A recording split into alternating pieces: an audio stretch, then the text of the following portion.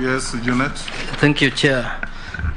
Chair, uh, I wanted to ask only one question, which is uh, the nominee was the secretary of the C, uh, Communications Authority. Now, as the Corporation Secretary and also as uh, the Acting Director General for the Communications Authority of Kenya, what is your position on the installation of the def- device management system, DMS, that is largely believed to be a surveillance tool on mobile phone networks in the country?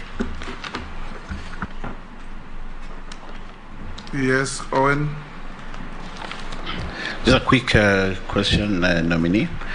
Um, looking at your experience at the Communications Authority, you deal with a board that's not more than 10 people. And probably they are very homogeneous in thinking, and they are all probably sector players. You're going to be secretary to cabinet. Cabinet of uh, 22 people, 24, di- very diverse politicians, technocrats, everybody else there, high level of thinking and all kinds of manner.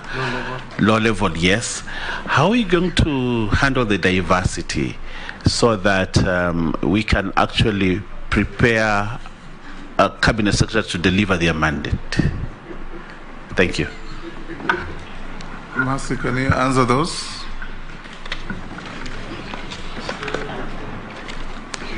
Um, thank you, Mr. Chairman.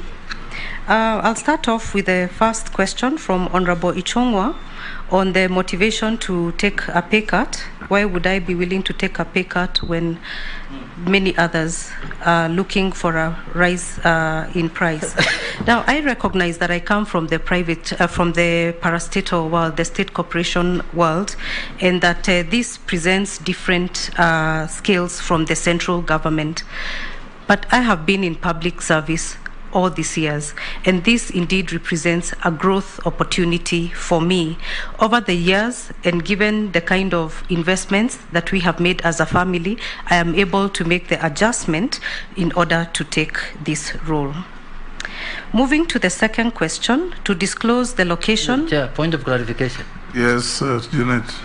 Chair, now could we say that uh, under this difficult economic situation in the world, and in Africa, and in Kenya, this is the only nominee in the world who is ready to take a pay cut in the spirit of, uh, of service. Could we now qualify her like that, Mr. Chair?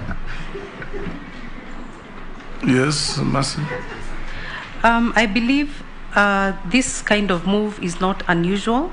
We have had this kind of cases, particularly where um, individuals have crossed from sectors that pay more than the public sector. So I think this is not really unusual.